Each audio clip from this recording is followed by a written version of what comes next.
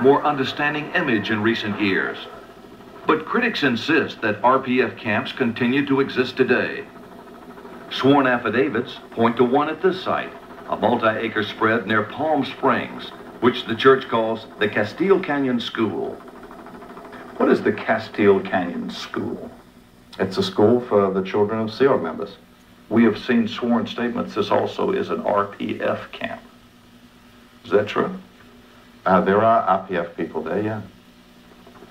ABC asked Mike Rinder if we could take our cameras and go to the school to talk to those inside, but he refused. With a helicopter. Earlier, when German filmmaker Peter Reichelt and his crew set out to see what they could find, this is what happened. You're blocking us. You're arresting us. You are not allowed to do that. A mile from the school, the Germans' way was blocked by carloads of Scientologists. According to the German filmmakers, senior church official Ken Hoden detained them for more than two hours. I'm giving you one last warning. Are you going to leave, yes or no? Fine! I'm placing you under citizen's arrest right now. What's so secret with this organization? What's so secret with this area? What's happened here?